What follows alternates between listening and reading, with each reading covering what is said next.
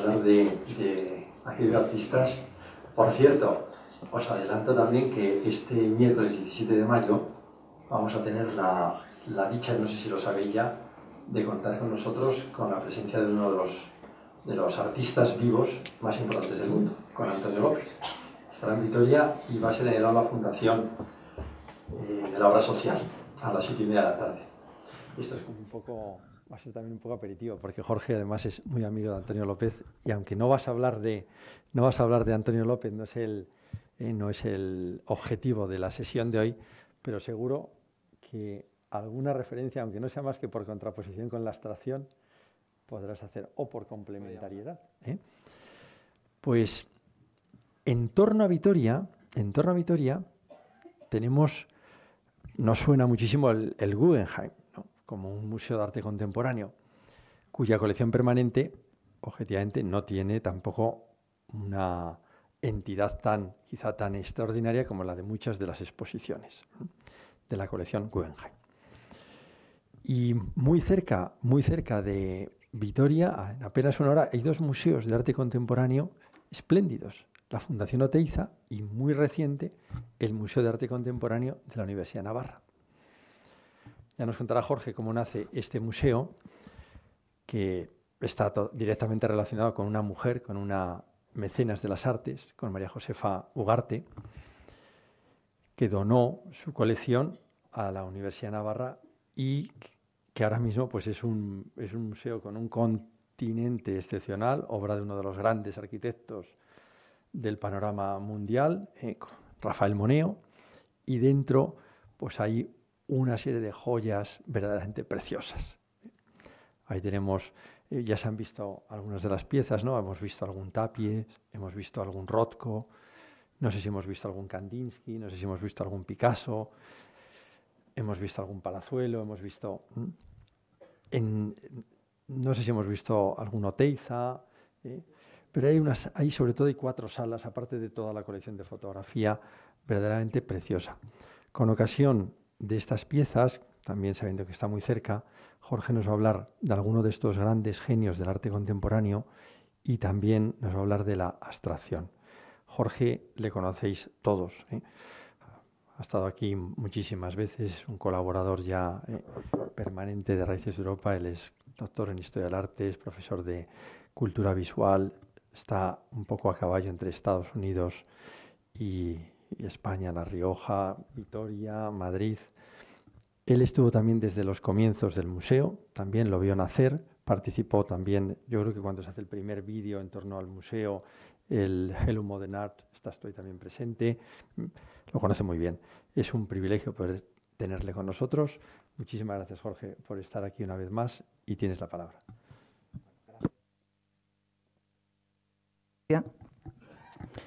Y, y, bueno, pues es un tema bonito que cuando José Alpío me pidió comentarlo, pues, pues dije sí, pues es, además es un tema, me parece, de, de gran actualidad, ¿no? el tema de los museos en un momento que parece que están en crisis. ¿no? Venimos ahora de un, del fantástico Museo Provincial de Bellas Artes que tenéis aquí y, y que hemos estado casi solos todo el rato, va muy poca gente a los museos y fijaos qué maravilla ¿no? la, la colección que hay ahí.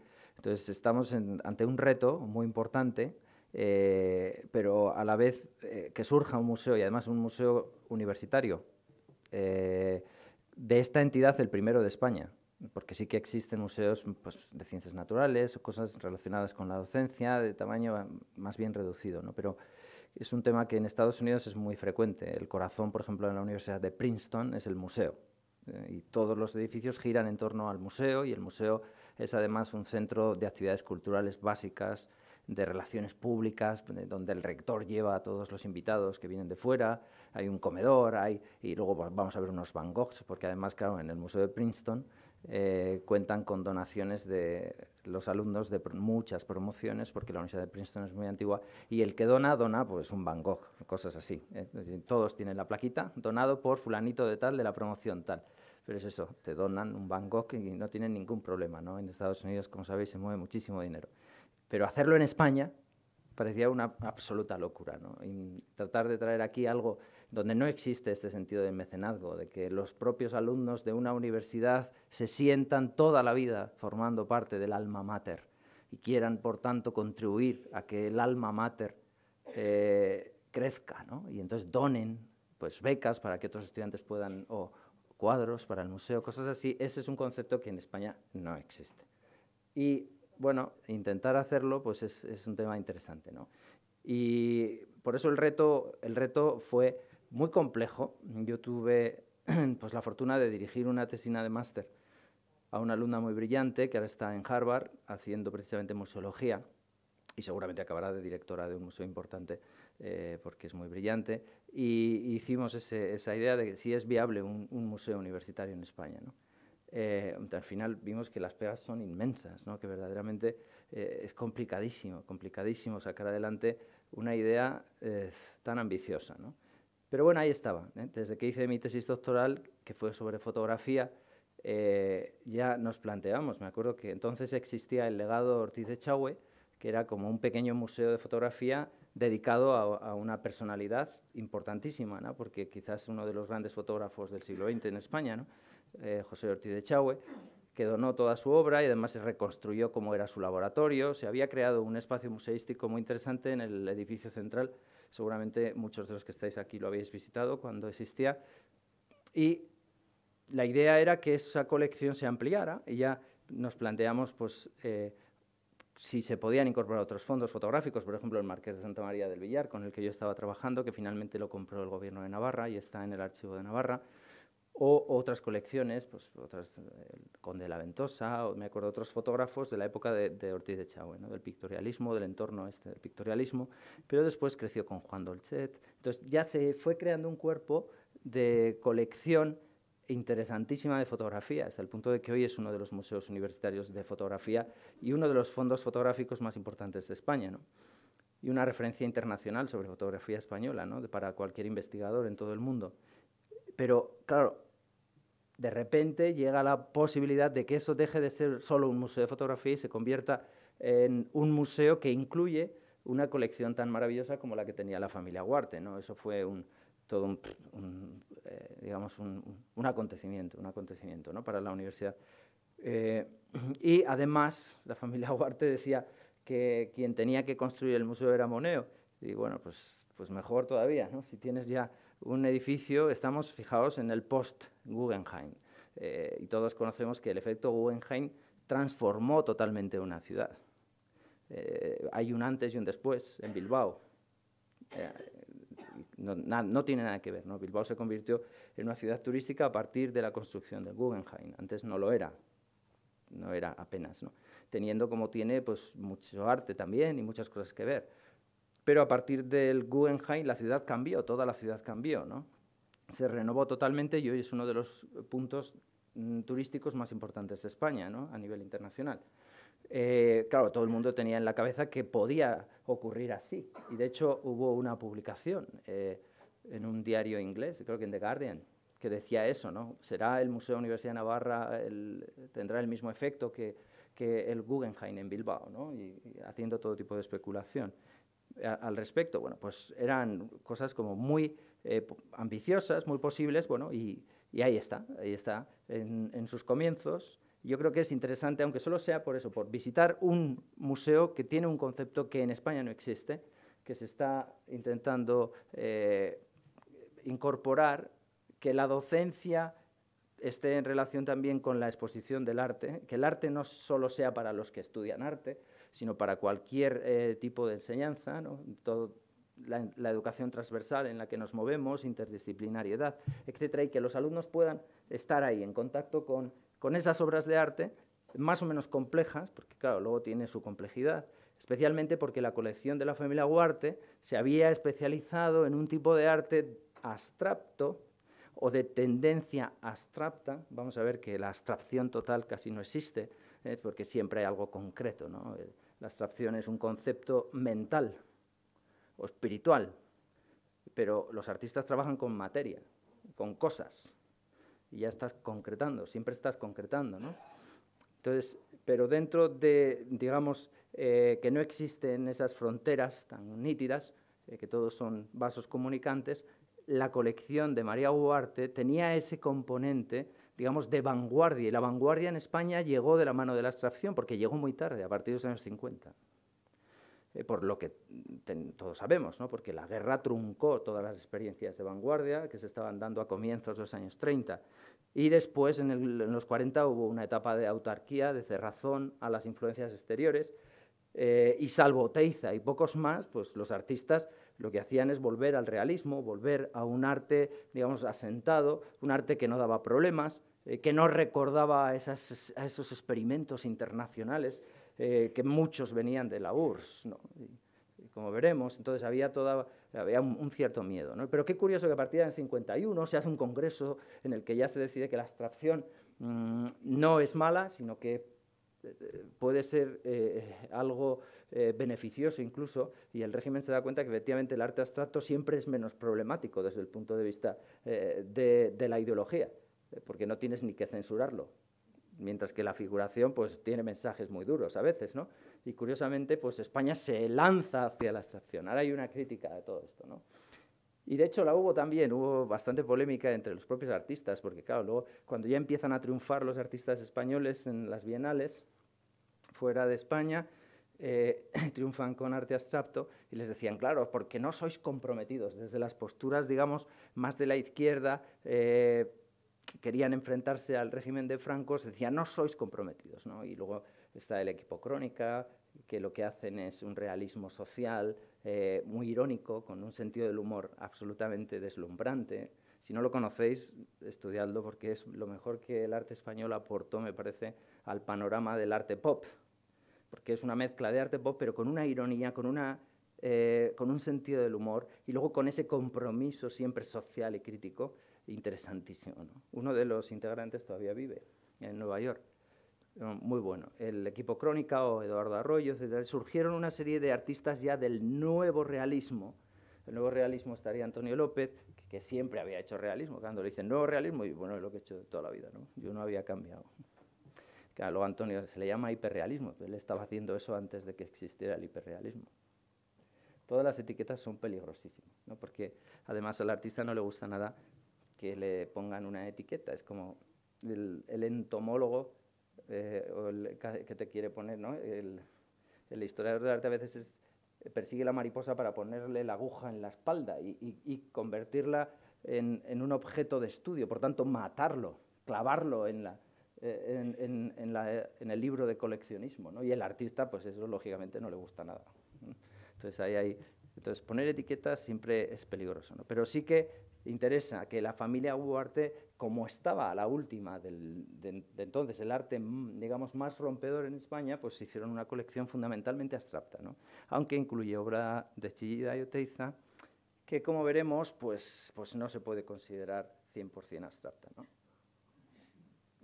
En todo caso, visitando antes el museo provincial, donde casi todo es arte figurativo, tradicional, hemos hablado mucho de pero es que la abstracción, pues vaya mérito, ¿no?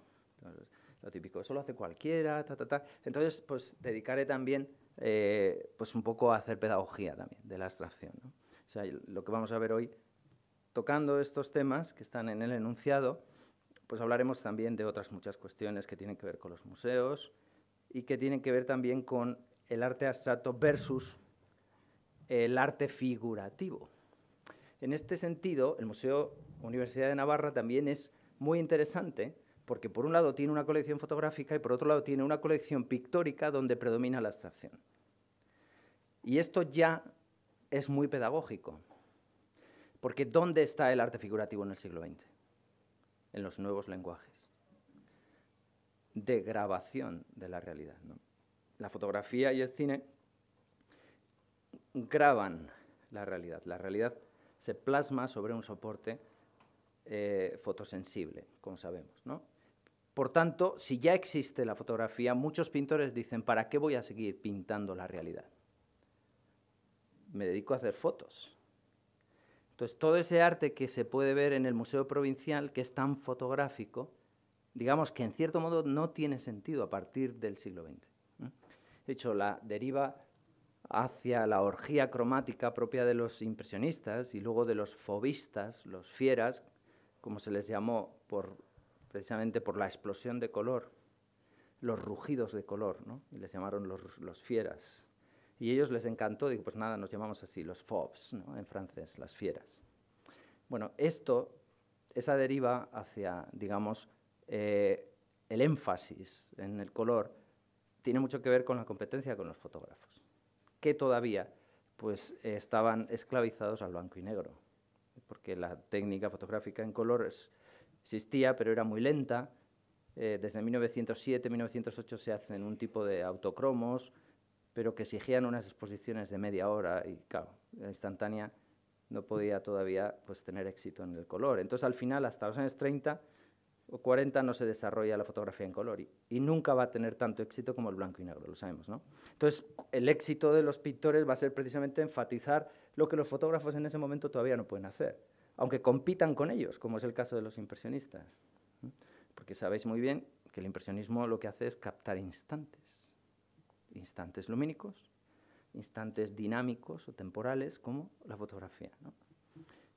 Y después viene ya una distancia, una cierta distancia con los fotógrafos.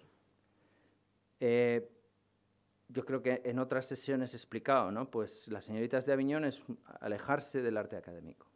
¿Y el arte académico qué tiene? Pues eh, sobre todo un fundamento eh, basado en la realidad, en copiar del natural, con modelos, y en el dibujo meticuloso, hasta el último detalle.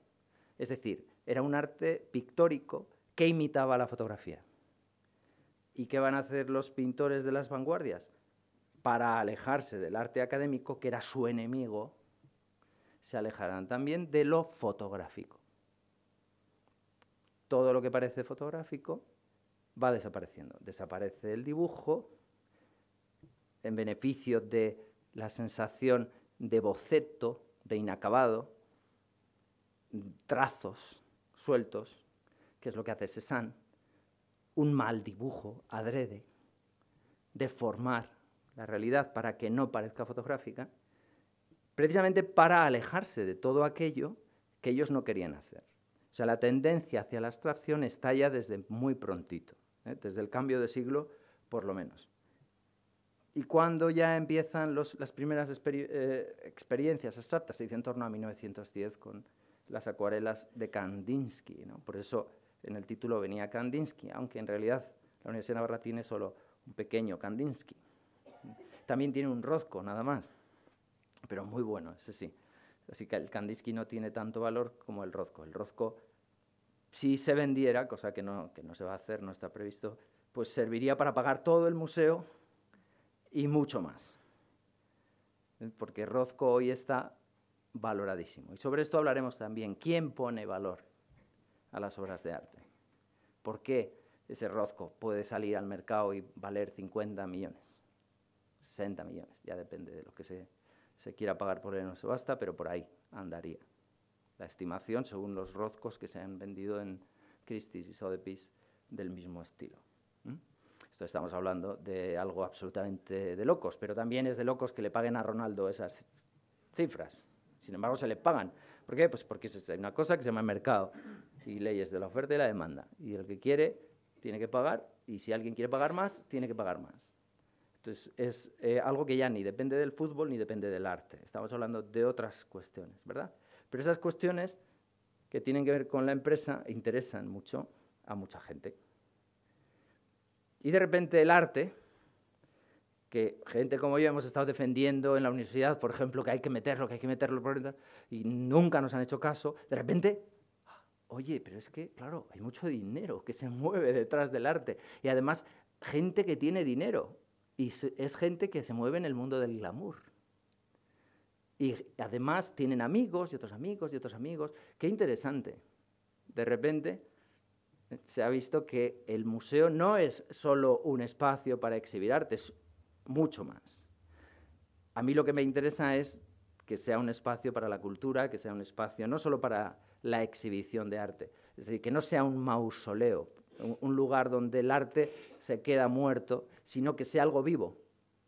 Eh, me parece que el museo tiene que aspirar, como Artion aquí o como cualquier museo que verdaderamente esté integrado en la sociedad, tiene que aspirar a ser un centro mm, en el que se hace arte, no solo se exhibe arte, sino se hace. ¿no? Y mi referencia siempre estaba precisamente en Harvard, en el Visual Art Study Center, que el edificio es de Le Corbusier, pero por cierto fue un español, catalán, él se, sentía catalán, no español, eh, Josep María Sert, un exiliado de la guerra, el que hizo el pabellón español de donde se expuso el Guernica.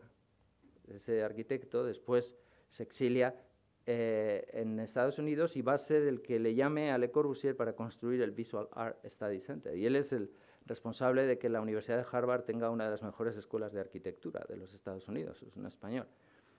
Y ahí se hace de todo. Ese es un pulmón de la universidad en el que conviven los estudiantes de arte con los arquitectos, con los ingenieros, con los científicos. Es un Visual Art Study Center. El cine tiene también su departamento, aunque ya ha crecido tanto que se han ido a otro edificio, pero bueno, ha sido siempre un laboratorio de experiencias, de creación.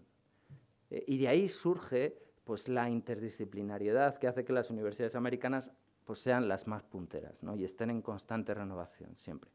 Bueno, pues esta es la idea un poco con la que nace y es muy ambiciosa, como veis, este, este museo, que es un magnífico edificio construido por, por Moneo, en un lugar precioso, con unas vistas hacia el campus, eh, con una cafetería, con también un restaurante, todo está muy estudiado y, por supuesto, un salón de actos enorme en el que puede haber representaciones incluso de ópera, porque se ha estudiado que el escenario sea casi tan grande como, eh, como las butacas, la sala de butacas. Habéis visto cómo se hizo la construcción. Aquí tenemos al artista que tiene todos los premios internacionales de arquitectura y la mecenas María Josefa Huarte con un palazuelo detrás. Eh, a ella le encantaba Palazuelo y hay una de las mejores colecciones de Palazuelo. Palazuelo es un pintor español que estuvo en París, amigo de Chillida, estuvieron juntos en la escuela, eh, ¿cómo se llama? El, Españoles en París, el Colegio eh, Español en París, y se forman en esas tendencias, entonces, ya digo, de vanguardia en España, y Palazuelo está obsesionado con el número, con las matemáticas, pero al estilo de Gaudí, las matemáticas como armonía del universo, no como algo relacionado con la ingeniería, sino relacionado precisamente con la belleza. La belleza siempre tiene una estructura numérica, ¿no? Digamos que el universo tiene eh, orden numérico porque es cosmos, no caos, cosmos. Y descubrir ese orden numérico y plasmarlo en una superficie plana, eh, que es la pintura, eh, es lo más complicado. Y él dedicó muchos años, sobre todo a partir de, finales de los 50, a, estudiar las ciencias de los números. Las ciencias, ya digo, en un sentido que tiene que ver más con la filosofía, que con lo que entendemos por, ciencias eh, desde el punto de vista de la ingeniería. Entonces, es muy interesante la colección de Palazuelo, pero no le voy a dedicar más tiempo. Y luego he nombrado un poco el legado de Ortiz de Chahue. Eh, Ortiz de Chahue, que ahora ya por fin, desde este año, cuenta con un espacio permanente para exponer su obra, que va a ir rotando porque la colección de Ortiz es enorme. Entonces, pero de momento hay una explicación en pequeño vídeo que sitúa muy bien eh, la importancia que este fotógrafo tuvo en la historia de la fotografía española. Y es un espacio que lo vi el otro día, lo acaban de inaugurar y está, está genial. ¿no? Me parece que era necesario y de hecho estaba previsto ya cuando se construyó el, museo, ¿no? que el antiguo legado tuviera esta representación también constantemente en el museo, ¿no? porque todo empezó con Ortiz Bien, por dentro, pues el espacio también es, es, fantástico, ¿no? Son esos espacios que hemos visto al exterior parecen pequeños, son mucho más grandes porque el museo está hundido un montón de metros bajo tierra, entonces se crean de repente estas sorpresas ¿no? que no esperas al entrar y esa enorme eh, sala de actos, de representaciones donde se han pues, hecho también ballet, ópera, eh, espectáculos abiertos a la ciudad y que están de alguna forma dinamizando también eh, toda la vida cultural eh, de Pamplona. Y después he hablado de Palazuelo, la colección de Palazuelo eh, es muy importante. Otra es Tapies, de los artistas españoles. ¿no?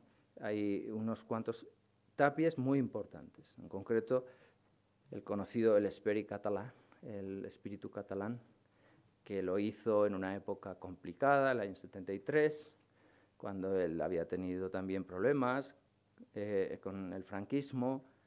Eh, por tanto, tenía unas connotaciones, claramente es la, bandera catalana y está escrito como si fuera un graffiti, pues palabras como libertad, tal. Entonces es, un, un, cuadro que yo sé que la Generalitat ha intentado comprar muchas veces a la familia Huarte y le han ofrecido mucho dinero, pero mucho dinero, y que los Huarte nunca querían eh, pues deshacerse de él y por tanto se ha mantenido en el museo y ahí está, ¿no? y se expuso en la gran retrospectiva que hubo de, de Tapies en el Guggenheim de Bilbao, quizá lo visteis, ¿no? y que está ahí. En la inauguración del museo estuvieron los actuales reyes, en ese momento eran ya, sí, claro, eran ya los reyes, ¿no? Estamos en el 2015. Como yo he estado años fuera, no, he estado en la inauguración, entonces me lo he perdido. Bueno, aquí tenemos un detalle del Esperi catalán y luego pues esa textura tan particular, me parece que esta foto es muy ilustrativa de un tipo de arte que exige estar delante, eh, que no vale reproducirlo, que es algo muy característico del arte contemporáneo a partir sobre todo de la Segunda Guerra Mundial, que los artistas ya están creando obra que busca huir de la ilustración, porque ya estamos en una época de explosión audiovisual, a través de las revistas ilustradas, a través de la televisión. En los años 50 ya se produce el fenómeno, digamos, de la cultura visual contemporánea que a mí me gusta estudiar, ese bombardeo de imágenes. Entonces el arte a veces nos llega por todas partes menos en directo. Mientras que, y este arte eh, es de tal fuerza táctil eh, que exige estar ahí. No te dejan tocarlo, pero te tendrían que dejar, porque es que es un tipo de arte que exige mm, pesar, valorar, calibrar las texturas de los materiales. En concreto, por ejemplo, Klein hizo un azul que él patentó, se llama azul Klein, que es verdad que no lo puedes reproducir, no hay reproducción que le haga justicia. Cuando ves una obra de Klein en directo, te sorprende, es, que, es como si los ojos te saltaran. Es un azul imposible eh, de fotografiar, ¿no? Y eso es muy característico de este tipo de arte abstracto que vamos a comentar ahora, ¿no? Lo mismo que el Rozco, por muchas reproducciones que yo os ponga de Rozco, es verdad que luego podemos hacer una reproducción, gracias a las nuevas tecnologías, con estas reproducciones eh, de megapíxel podemos acercarnos y ver detalles que no ves a simple vista, ¿no? Pero nunca vamos a tener esa experiencia táctil de estar delante de un cuadro, ¿no? Por eso os animo a que os apuntéis al viaje este de raíces, los que, de eso se trata también, de, que la gente se acerque ¿no? y que vea en directo estas piezas. ¿no? En concreto este rozco que tiene la Universidad de Navarra, que es de una etapa de naranjas y rojos, es de lo más valorado, es la etapa que, mejor se vende de Rozco. Ahora me diréis, ¿y vale 40 millones un Rozco? ¿Qué es lo que hace que esto valga 40 millones? Pues que la gente está dispuesta a pagar 40 millones. ¿Por qué? Pues porque Rozco se convirtió en una especie de santo laico y sus cuadros son como las reliquias. Es un tema que a mí me gusta, ¿por qué la gente pagaba por una reliquia qué sé yo, vendían San Luis de Francia por tener una reliquia en Notre Dame de París, estaba dispuesto a pagar medio reino.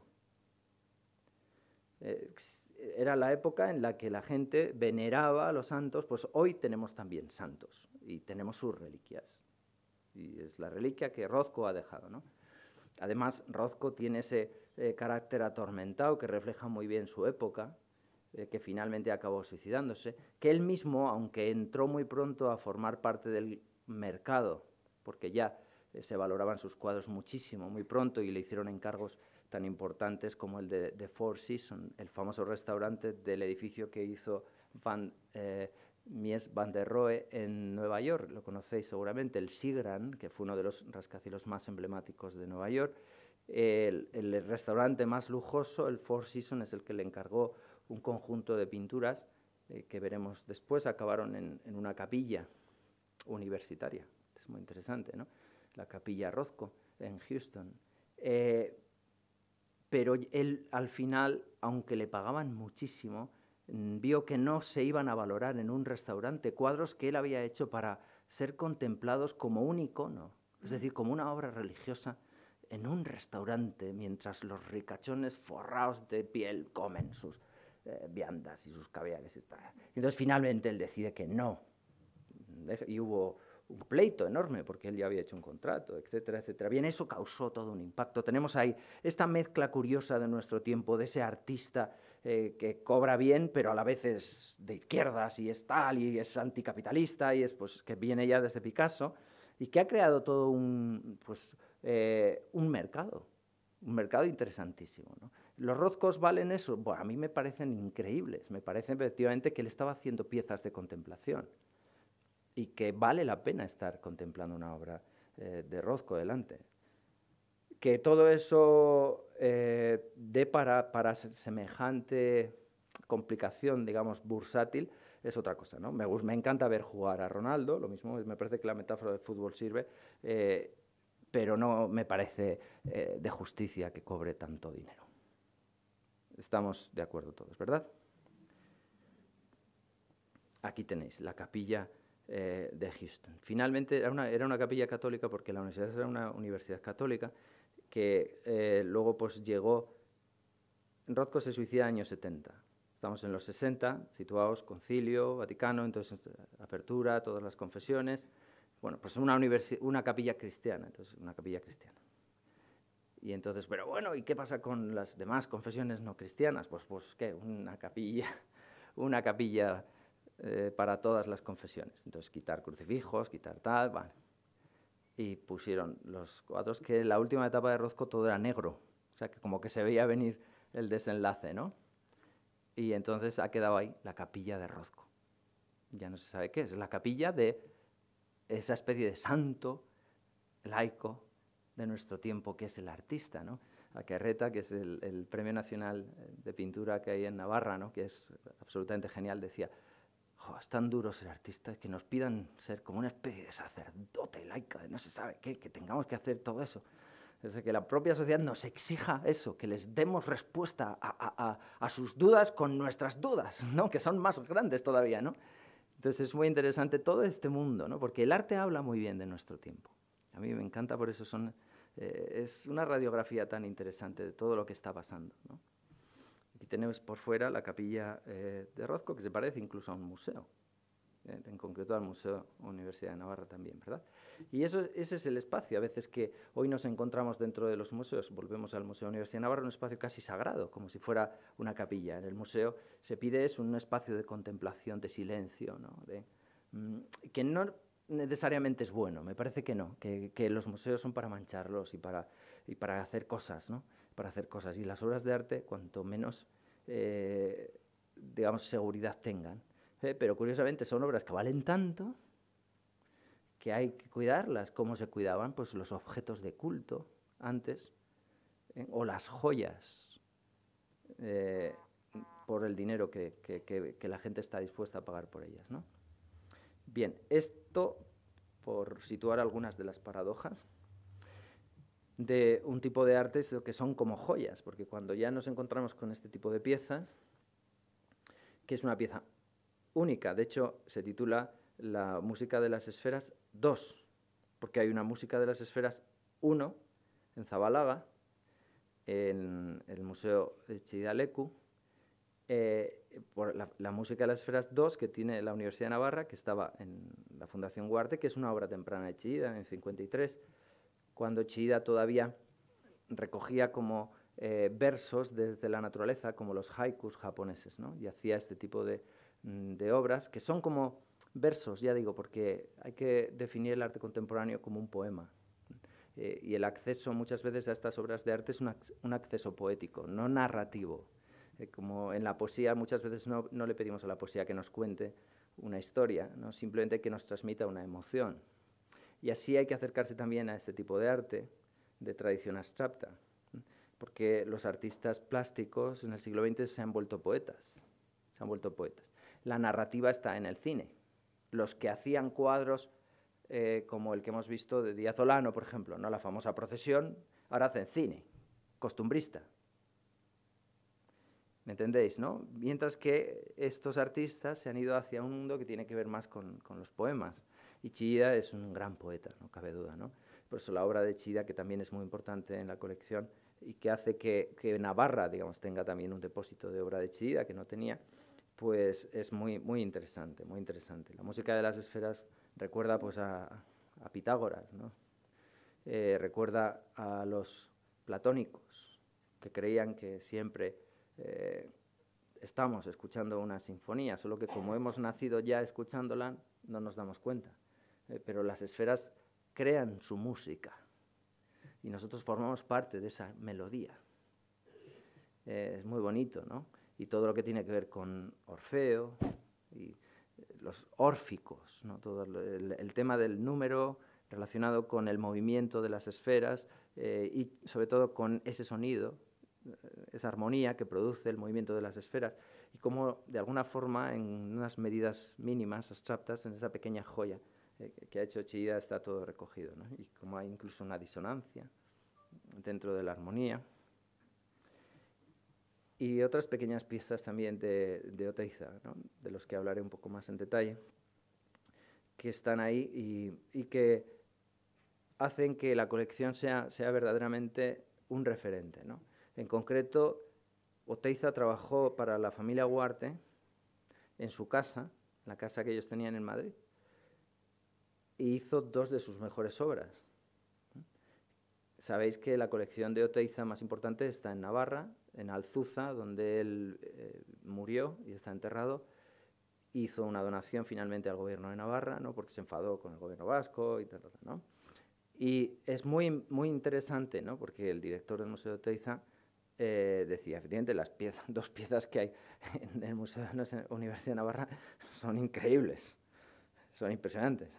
No me importaría que estuvieran aquí en este museo, pero bueno, a la vez están cerca. También, ¿por qué no se puede crear un itinerario ¿no? y hacer que se dinamice un poco todo, toda la, eh, porque además Azusa no está muy lejos de Pamplona. Yo cuando tengo que llevar, cuando vivía en Pamplona y tenía que llevar a los eh, visitantes extranjeros que venían a Navarra al Museo de Teiza, desde hacía con, eh, con, con, un enorme placer y era para ellos una sorpresa encontrar en una ciudad que no es precisamente una capital cultural, ¿no? de repente esa joya que es el Museo Teiza. ¿no? que es de repente pues, un, punto, digamos, de, máxima actividad artística que nadie espera, ¿no? y los que saben de arte contemporáneo lo valoran así. Pues lo mismo es ahora el Museo Universidad de Navarra, ¿no? un centro donde uno encuentra pequeñas piezas. Hay una excepción a toda esta... Bueno, ya veis que no es tan abstracto. Tenemos una figura que es una maternidad, podría ser una imagen, una Andra Mari, ¿no? como decía Oteiza, o simplemente una maternidad al estilo de Henry Moore, de las tradiciones de las maternidades, eh, con todavía la huella orgánica de donde viene el primer Oteiza, eh, que tiene mucho que ver con Henry Moore, que yo creo que ya comenté un día un poco, pero veremos también ahora.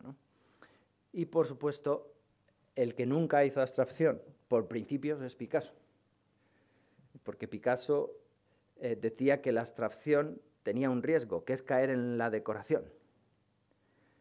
Y algo de razón tiene. Eh, él quería hacer arte para museos, arte que colgara junto a los grandes genios del pasado, como él estaba pensando en el Museo Louvre ¿no? o en el Prado. Él quería que su arte colgara ahí junto con Velázquez y con Goya. ¿no? Claro, si tú haces abstracción, pues al final puedes acabar eh, haciendo tapicerías o cortinas muy bonitas, decía él, ¿no? Eh, ¿Dónde está el límite entre eh, el diseño y el arte? Él quería tenerlo muy claro. ¿no? Tú puedes deformar la realidad todo lo que quieras, pero nunca te olvides de ella. Por eso cuando en los años 20 se produce lo que se conoció como la vuelta al orden, según Jean Cocteau, Picasso era como la bandera que los nuevos realistas querían, eh, digamos, siempre poner como ejemplo. Y Picasso incluso tiene una etapa ingresca que vuelve al arte académico durante los años 20, aunque luego pues, hace lo contrario. Ese mismo año ya le están poniendo la etiqueta de realista o nuevo realista y hace los músicos, que vuelve al cubismo, pero además un cubismo musical que se mueve. Y, entonces él está constantemente eh, innovando. Pero es interesante que la única pieza de Picasso que hay en la colección de Navarra sea este mosquetero, porque tiene así como un recuerdo muy español. Y Picasso ejercía de español, siempre hasta el final, ¿no? Se mandó enterrar con una capa española, no sé si lo sabéis, en Boucheloup, en su castillo, y siempre, en Francia ejercía de español, en España ejercía de francés, poco siempre llevando la contraria, ¿no? Pero es un mosquetero que tiene todavía, eh, digamos, los principios del cubismo, porque ya es una obra tardía, de año 63, pero que crea un, eje de simetría muy simpático donde se van moviendo eh, cada uno de los rasgos de un rostro. Es como una especie de experimento, de mapa eh, de lo que es un rostro, con incluso la mosca y, todas las, y todo muy esbozado, muy sencillo. Es una, es una pequeña pieza de muchísima gracia, pero que anuncia ya lo que va a ser el arte contemporáneo. ¿Por qué la abstracción? Eh, es que podríamos decir, ¿qué más da la abstracción? O sea, ya digo que la abstracción total pues, no existe, salvo en el caso de Rozco y algunos más, ¿no? en los que querían tener una voluntad de llegar a la abstracción total, como Kandinsky en algunos de sus cuadros que ni siquiera tienen títulos, lo mismo que Rozco. No, le pone ni títulos para no dar ni siquiera una referencia eh, que concretice una idea, que cada uno vea lo que ve. estos aspiran a hacer un poco de música. Y por eso el tema de Chillida y la música de las esferas puede ser un ejemplo interesante, porque quieren que veamos la pintura como cuando escuchamos una sinfonía, que no necesariamente estamos escuchando algo concreto, pero nos estamos emocionando con lo que escuchamos, ¿verdad? Eh, pero es que el arte contemporáneo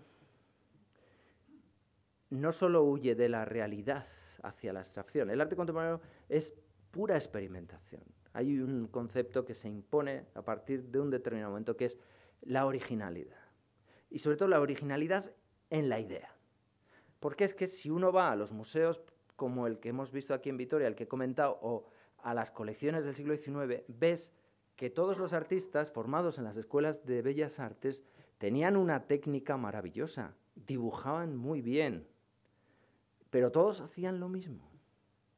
Cuadros de historia, mitología, retrato, eh, las grandes máquinas que decía en francés, las grandes machines, ¿no? que llenan todo el Louvre. Eh, había que hacer algo distinto y Picasso se dio cuenta muy pronto, ¿no?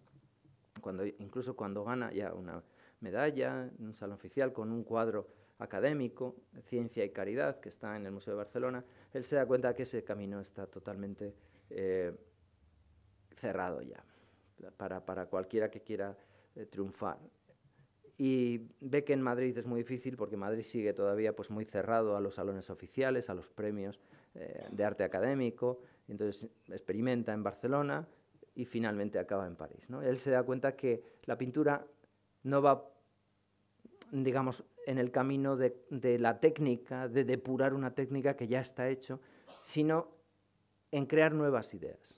Y eso lo puedes hacer sin siquiera pintar, como hizo cuando toma un manillar de bicicleta y, un sillín y te crea la cabeza de toro. Entonces, ¿esto es una obra de arte? Por supuesto. ¿Porque la hizo Picasso? Bueno, eso influye. Claro, eso influye. Lo hace un artista que es alguien que se dedica a crear. Y por tanto está en el mundo de la creatividad y por tanto tiene la posibilidad de exponerla. Porque esta cabeza de toro, si la hacemos cada uno en nuestra casa, pues nadie se entera. Y el arte, sobre todo, tiene un componente social. Eh, arte es lo que aceptamos como arte, todos. No solo lo que el artista dice que es arte, porque por mucho que lo diga, si nadie le hace caso, da igual. El arte tiene siempre un componente colectivo. Y cuando Picasso hace esto, claramente está diciendo, no solo esto es una obra de arte, sino estoy ampliando los límites de lo que es arte. Y el arte se basa sobre todo en contar algo, independientemente del medio con el que lo cuente.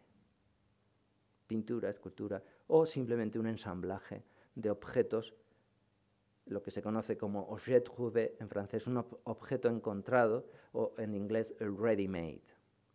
Algo que no tiene una función artística, pero en el momento en que el artista lo saca de un contexto ordinario en el sentido, mm, eh, en el doble sentido de la palabra, ordinario, y de repente se convierte en algo extraordinario, puesto que ha cambiado de contexto y ha cambiado de finalidad.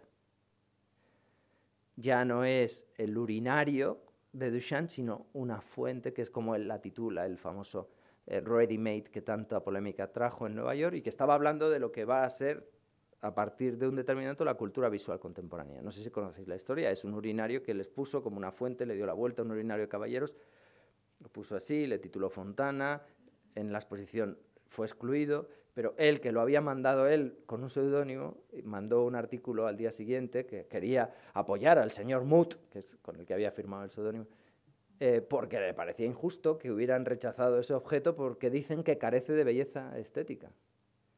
Dice, claro, es verdad que un urinario de caballero, como se hacían antes, que era muy artesanal, pues tenía, su belleza. Si no es para orinar, si lo quitas y está limpito, pues es, un, es bello, ¿no?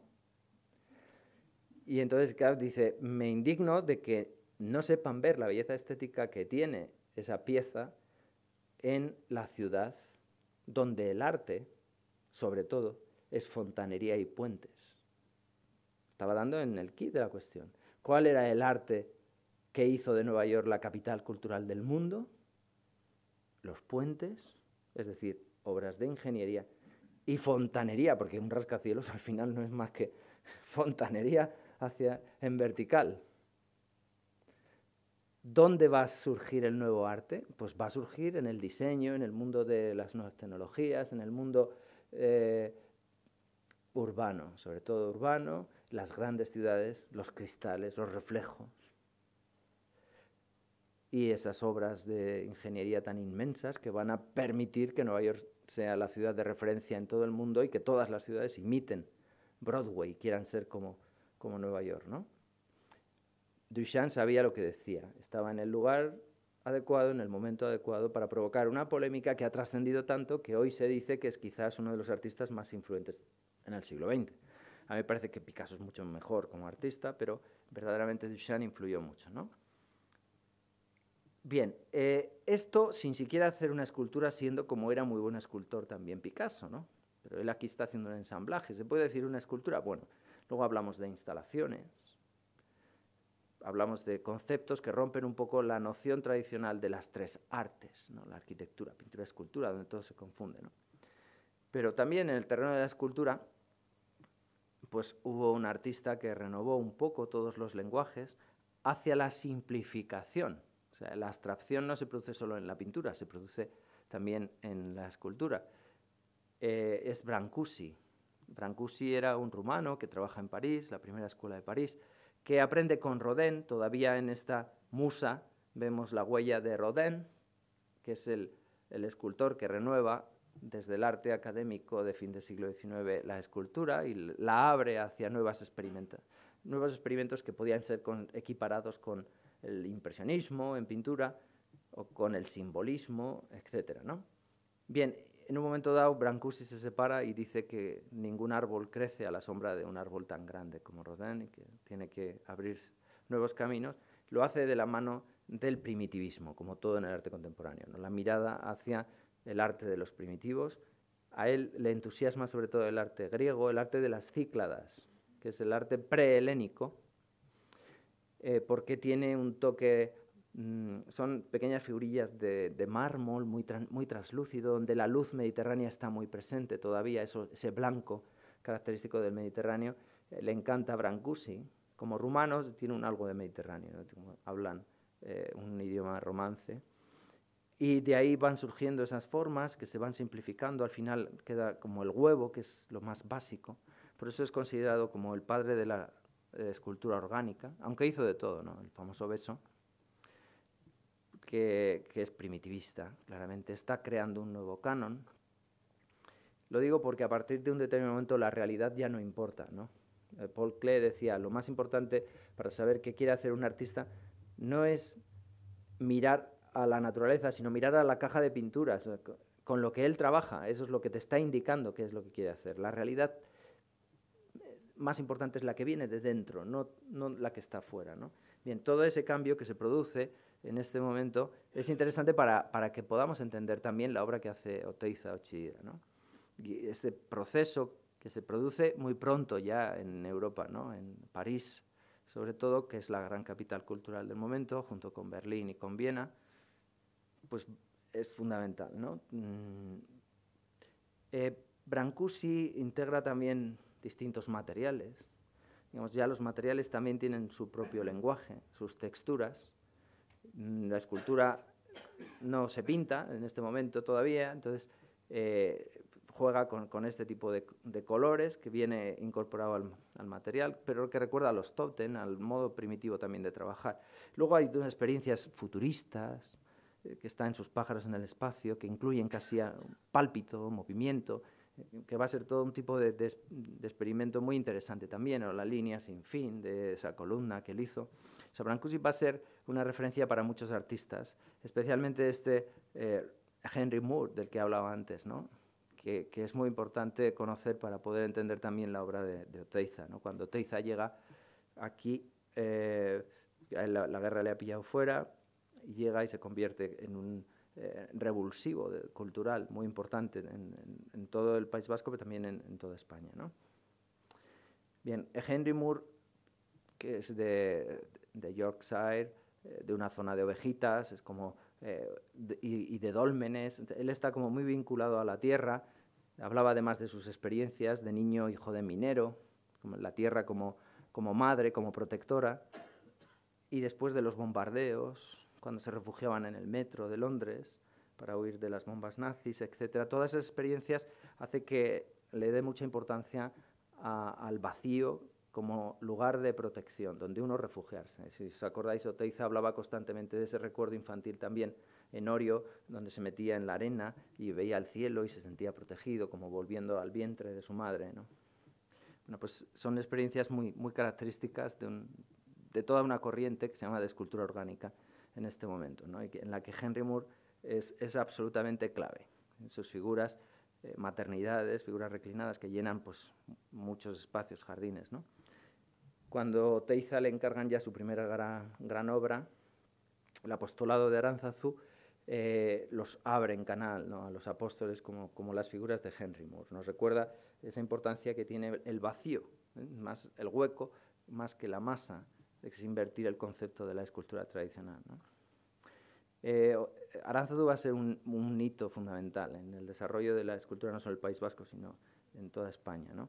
porque ahí entran jóvenes escultores que van a renovar eh, un poco el panorama y ya se pone en práctica las teorías de que la abstracción no es tan mala. Bueno, pues vamos a ver, ¿no? Diseña unas puertas abstractas tan pronto como, eh, como en los años 50, ¿no? a comienzos de los 50. Ya tenemos pues, con unas formas geométricas que recuerdan eh, al suprematismo ruso, que en ese momento claro, era una cosa como muy prohibida en España todavía. ¿no? aunque ya había bastante más libertad. ¿no? bien, pero bueno, hay Barrola que hizo las, las vidrieras, se las pintaron. Y también los frescos de Basterrechea, o sea, que, todavía había censura, eh, no, era nada fácil. ¿no? ¿De dónde salen todas esas experiencias de la abstracción en los años 50? Pues de todo un movimiento de, vuelta a la abstracción que se produce en Francia después de la Segunda Guerra Mundial, que no está muy estudiado, y que hay que estudiarlo mejor, que son los líricos. Los líricos franceses, lo digo porque sí que se ha estudiado después todo el expresionismo abstracto, eh, por lo que tiene de carga existencialista, vinculada con la filosofía de Sartre, todo eso se ha estudiado muchísimo, porque es lo que se produjo después, eh, lo que tuvo más eh, difusión social tras el mayo del 68. Digamos que los protagonistas del expresionismo abstracto son los que luego escriben los libros bestseller y que convierten la revolución de mayo del 68 como un hito histórico, ta, ta, ta. Pero antes estuvieron esos franceses que ya desde los años 40, justo al terminar la guerra, se ponen a restaurar catedrales y las restauran con formas abstractas. Y que defienden la abstracción Manessier, Pichier, hay unos cuantos que forman un grupo que se llama los abstractos líricos, que defienden la abstracción contra el mal uso de la figuración que se había hecho durante eh, la época, digamos, de los totalitarismos y que se seguía haciendo en la URSS en ese momento.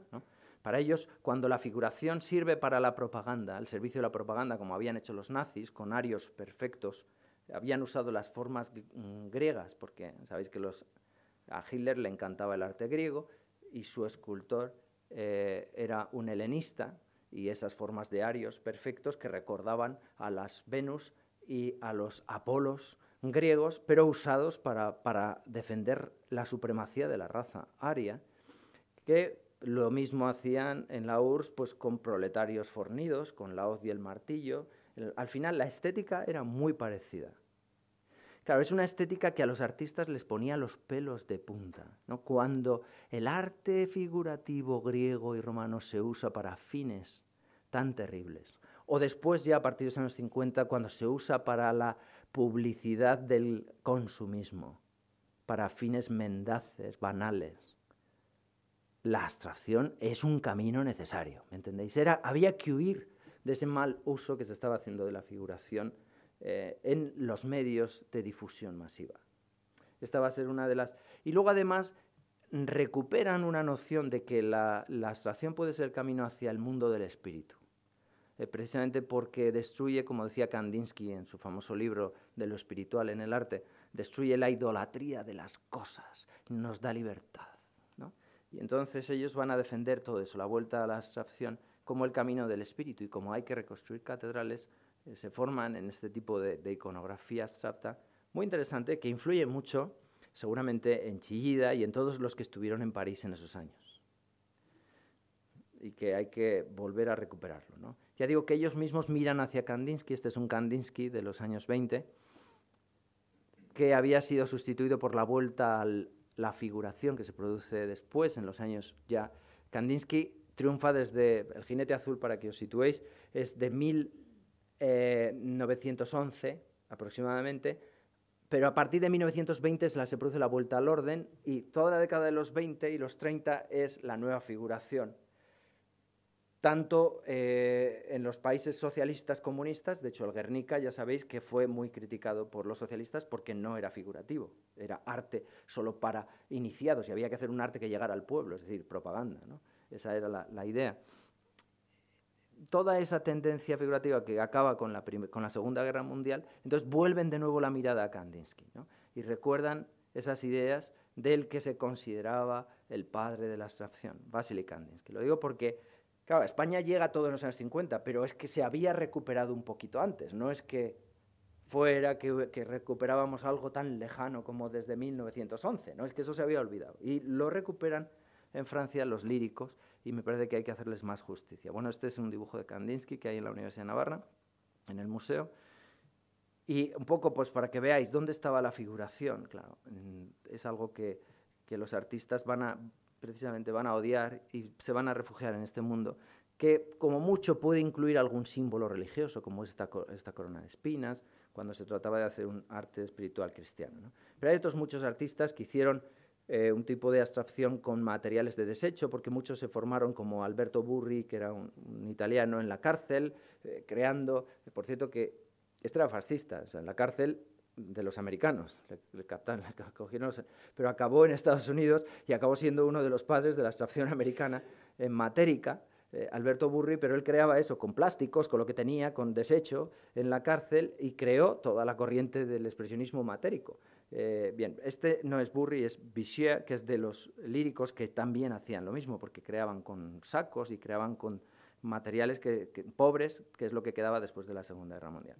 Lo digo para entender a Tapies, porque Tapies al principio empieza haciendo un, arte muy surrealista que recuerda a Miró, porque Miró va a ser como el alma mater de todos los catalanes, ¿no? pero enseguida se incorpora a las corrientes matéricas, de abstracción matérica. Eh, y conserva estos símbolos, también la cruz, eh, símbolos eh, que, recuerdan tanto al arte primitivo como al arte cristiano de las catacumbas, de los primeros cristianos. Aunque después todo ese arte pobre se convierta en una obra permanente, como lo que tienen en la Universidad de Navarra. Os he puesto estas dos piezas. Esto que es una caja de cartón con un cesto, eh, nació con materiales muy pobres de desecho, pero finalmente se ha hecho en bronce. La obra que vemos ya es algo hecho en bronce, es decir, sobre los materiales desechos se tomó un molde y a ese molde se le rellenó después por bronce, técnica de la cera perdida, eh, que es la tradicional, etc. Y tenemos ya una obra permanente, monumental, pero que recuerda su origen humilde en esos años eh, de las dificultades. Digo para que conozcáis un poco todo el contexto. ¿no? Bueno, Tapis ya digo que está muy bien representado y tiene un poco toda la evolución. Su obra pasa por todas sus etapas, pero ya dentro de las corrientes más abstractas de Tapies. No me voy a detener porque vamos muy mal de tiempo. Eh, Oteiza, os he dicho antes, trabajó para los Guarte en su casa y hizo un muro enorme, que de aquí no se ve nada, pero es un muro en el que él estuvo trabajando años. Mientras iba allí Tertulia, hablaba con María Josefa y con su marido, iba picando, pic, pa, pic, pa, como un hombre primitivo que trabaja ahí en, y va dejando sus cuñas. Y es espectacular. Es una de las obras más importantes de Oteiza en todo el mundo. Es una cosa increíble. Claro, estaba, era un muro de separación del salón de la casa de los Huarte. Claro, al quitarlo de allí ha perdido su esencia, pero es una maravilla, ¿no? Para contemplarlo en directo por todo lo que tiene de texturas. Lo mismo que la chimenea, que también la diseña él, la chimenea de la casa de los Guarte, que ahora también ha sido trasplantada a una sala de museo y pierde ese sentido. Además tenía una iconografía que es el carro de Elías, metiendo ese toque espiritual, pero a la vez que, tiene una referencia simbólica al fuego, ¿no? Porque a Elías fue, según la Biblia, transportado al cielo en un carro de fuego. ¿no? Bien, otras figuritas y bueno, las piezas como, como están expuestas allí, ya hemos hablado un poquito, esas maternidades de Oteiza que recuerdan a las de Henry Moore. Eh, y luego ese Oteiza más abstracto, que sí que tiene una representación mayor en el Museo de, Oteiza, que no es el Museo de la Universidad de Navarra. Por eso es muy interesante porque Oteiza ahora su, representación más importante está en Navarra, ¿no? Y se puede hacer un itinerario múltiple. Bueno, ya sabéis que para entender eh, a Oteiza... Uy, me estoy extendiendo muchísimo. Eh, acabo ya, vamos. Eh, para entender lo más complicado de Oteiza, las cajas metafísicas, nos tenemos que ir a las cajas metafísicas es como intentar vaciar la escultura y dejar eh, que el vacío tenga todo el protagonismo, ¿no? Y, es, al final todo es geometría y, tiene una, complejidad que habría que ir a los rusos, sobre todo a, a Malevich y el padre del suprematismo, que llegó al blanco sobre el blanco, otro manifiesto de la máxima abstracción posible, que se hace más o menos a la vez que el urinario en Nueva York, en Moscú se está haciendo el blanco sobre el blanco de Malevich en ese proceso de simplificación de todo, al final nos quedamos con cuadrado, el cuadrado que es lo más básico de la geometría eh, euclidiana, porque él está obsesionado con que eh, lo euclidiano, los cuatro puntos cardinales lo son todo, porque no había más, y finalmente el blanco sobre el blanco, no sé si veis que hay un cuadrado dentro de otro cuadrado, pero que todo está hecho con mucho detalle pero que es el manifiesto de máxima abstracción posible a la que puede llegar el hombre con materia, es esto, ¿no? Mm, me diréis que es, eh, que es una pretensión imposible, pero es que el arte busca siempre lo imposible. Luego tiene un anti-icono, que es el negro sobre el blanco, que es como la tradición de los iconos rusos, pero sin icono. Es como eliminar todo lo que tiene que ver con una referencia eh, figurativa, aunque él había empezado haciendo este tipo de cosas, más, más cubistas. Bien, me salto lo digo porque eso es lo que intenta hacer Oteiza, y él habla constantemente de los planos Malevich en su obra. Claro, Oteiza lo hace en un momento en el que esto está ya aparentemente pasado porque era una cosa de la revolución soviética de los años, fijaos, del año 17, 18, 19, cuando están los artistas, antes de que Stalin les prohíba a todos seguir haciendo este tipo de experimentos abstractos y digan, no, no, el único arte que que... Bueno, Lenin, Lenin ya lo, lo, hace, cuando Lenin dice que el cine va a ser el arte del pueblo y que todos hay hacer figuración. Pero había una, idea de hacer por la Torre de la Internacional que iba a ser descomunal, que finalmente no, no quedó más que la maqueta, pero que la maqueta se exhibió por toda Europa Bien, de ahí salen todas esas experiencias de abstracción geométrica. No me voy a detener, eh, pero que sepáis que llegan a Estados Unidos con rusos exiliados y que en Estados Unidos surge toda una corriente que es el minimalismo, que igual os suena, eh, Donald Judd, artistas que crean piezas que ya ni siquiera ellos tienen que forjar, como Chillida hace con la forja. ellos las diseñan y se producen industrialmente.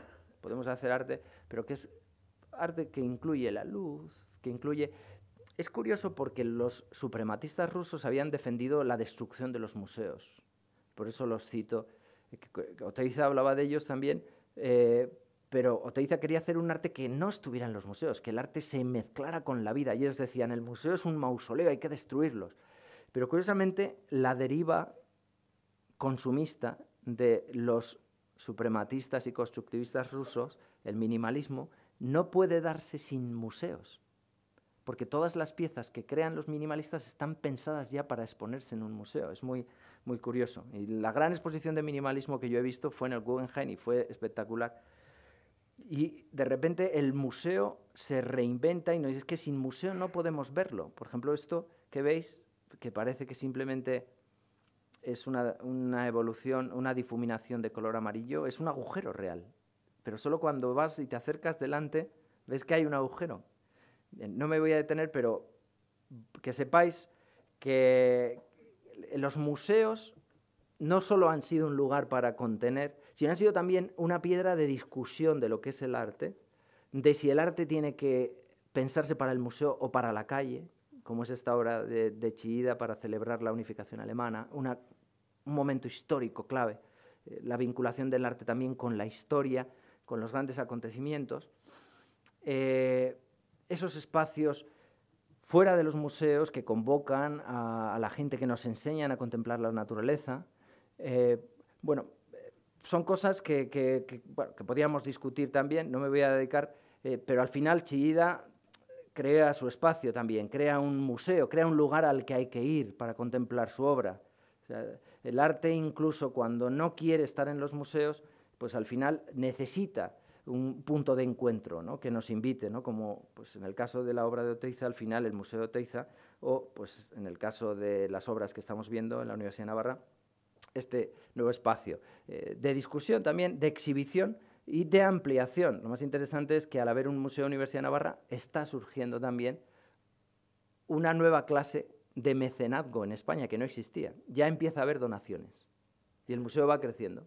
Y todo esto ya es una exposición que se ha hecho con obras donadas, muchos antiguos alumnos, como en, eh, en Estados Unidos, y otros simplemente gente que tiene una colección y dice, pues qué mejor sitio que, que hay. O sea, que está naciendo un concepto curioso, nuevo, y que vale la pena pues, pues reflexionar sobre él. ¿no? Y luego, pues en lugar de mezcla de cosas, esta es una exposición de Foncuberta que cogía eh, materiales de ciencias naturales de una colección que hay también, de una donación de ciencias naturales, eh, con sus experimentos fotográficos, donde él crea una fauna imposible, ya sabéis que la fotografía y, documenta cosas que nunca han existido, esa fotografía que, que, nos descubre que todo es mentira, ¿no? que no nos fiemos eh, de lo que nos cuentan en los medios, etcétera, etcétera. Bien, al final, y luego pues ese espacio también donde ocurran cosas, ¿no? Eh, pues el ballet, eh, las óperas, los, los performances, que también es interesante tener en cuenta y que eso me parece que es lo esencial de, un museo que tiene que estar vivo, ¿no? que tiene que, que, hacer que se cree, no solo que se exhiba arte.